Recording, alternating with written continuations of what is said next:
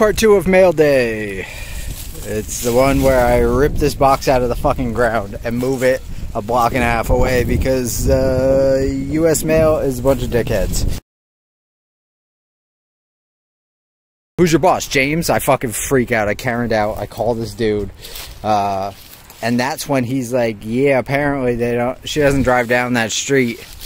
You're gonna have to put your mailbox somewhere else. Well, I'm like, dude, see what you could do to get this thing done. This was Friday. He calls me back today on Monday and says, nope, gotta move the mailbox. So now, my choice is all the way down there at the end of the street.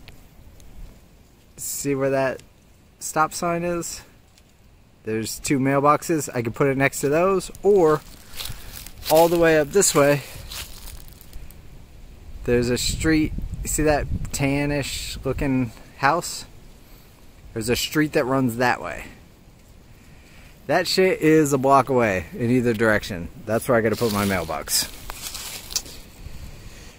And cement. It's fucking cemented into the ground. But I got it up. I just uh, I dug around it. I use this pry bar. It's kind of ready. I'm gonna take the tractor, hook a, unhook the mailbox part of it, and then hook some chains to this and just fucking tear it out of the ground. And drag it down the street and dig a new fucking hole and pour new cement in the new fucking hole and then god damn it, these motherfuckers. So that's what I'm doing. Mail day. Fucking mailbox day part two. About to walk this 200 yards up the road. Try and fit this big clump of cement into a new hole that I've dug. Great. Yeah, I just found this on my property. This was all overgrown, but now that, you know, it's cold out, shit is dying back. Look at this. There's a fucking well here. Surrounded by sticker bushes. Look at that shit. That is weird. I don't know what to do with that. There's no way that that's gonna be good. Oh shit. Hello, fucker. Right here this whole time. Yeah, I, I can't see this being very viable. There is a, there was a cover on it that somebody didn't put back on, unfortunately.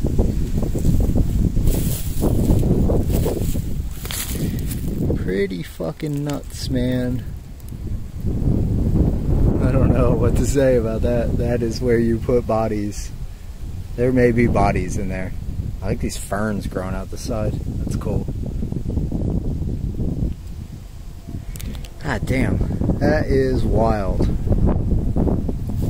Alright. Don't know what to do with that. wonder how fucking old that thing is. There.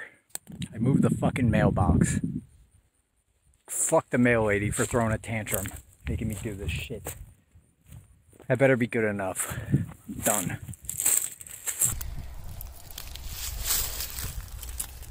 Ooh. It is just a terrifying tomb. There's like a bucket laying there. Dude, that's gotta be a 15 foot drop. At least.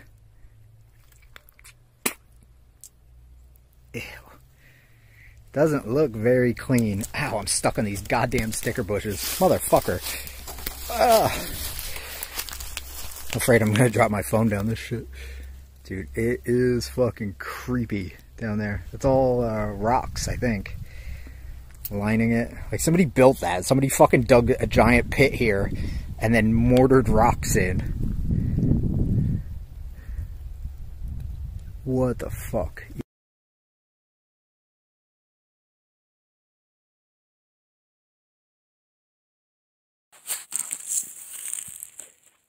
Weird. So this town was started like 1860s or 1880s, I think. Something like that. I forget what I read exactly. It was a six or an eight. Um, and apparently it was very popular then. There was way more people here 100 years ago than there are now. Um, because there's a spring a couple blocks away from here in like the, the little center of town park thing. And century it was like a big tourist attraction because they said it had healing powers and you know you could just fucking con people 100 years ago nobody knew shit. Now it's the same but it's digital. Um but yeah so i guess this was like a big touristy town. They used to have a uh, a big hotel right there by that spring. Um, it's still there but it's literally falling apart rotting away. And there's signs all over like no trespassing and uh say away trespassing? Dickhead. There's signs that say stay away? No. That's, that's not a sign. It's not real. Ugh. anyway I've, I've got a pit on my property. If you need to dispose of a body I've got a pit. This tree is fucking crazy. Look at this branch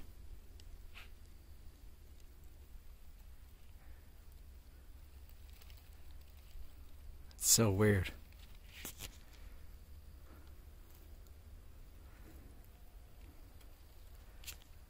That's this thing is probably four foot thick, at least. At least, man. It might be six feet thick. I don't know what kind of tree this is. That part right there, that's probably three feet through the center. This branch is crazy. I don't know if it's because there's like a little, you know, where they used to come in and out. So maybe they, they just kept cutting it back. And that's how it grew. You can see there's like little nubs there that got cut. So maybe that's what forced it to grow this way. It's tough to say. That bitch. This is one of the uh, little ponds on this property. It's not very big, maybe like 40, 50 feet across. I don't think it's fed by anything. I think it just collects rainwater.